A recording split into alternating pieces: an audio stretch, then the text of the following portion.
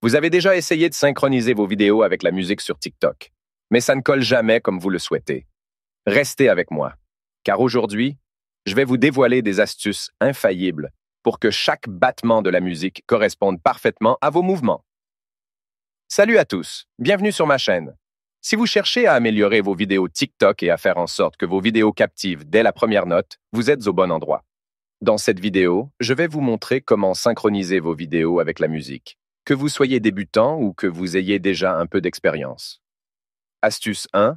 Choisir la bonne musique. La première étape pour une synchronisation parfaite, c'est de choisir une musique avec un rythme bien marqué. Les chansons avec un bon tempo sont plus faciles à synchroniser. Parcourez les tendances pour trouver les morceaux qui correspondent le mieux à votre contenu. Astuce 2. Utilisez l'outil de découpage. Une fois que vous avez choisi la musique, utilisez l'outil de découpage de TikTok pour ajuster précisément où la musique commence. Vous pouvez ainsi faire en sorte que le meilleur moment de la chanson corresponde à l'action principale de votre vidéo.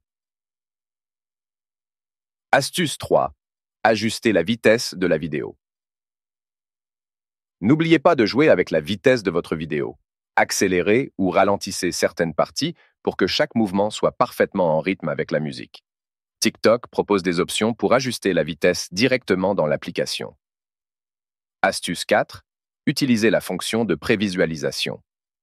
Avant de publier, utilisez la fonction de prévisualisation pour vérifier que tout est parfaitement synchronisé. Regardez la vidéo plusieurs fois et faites des ajustements si nécessaire. N'hésitez pas à tester plusieurs versions avant de finaliser. Et voilà.